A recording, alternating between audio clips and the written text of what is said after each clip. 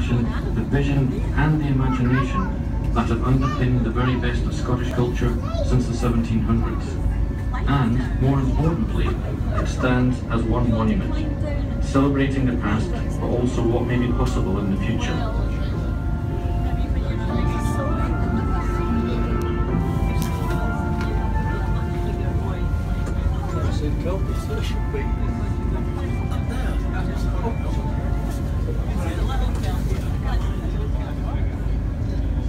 ます。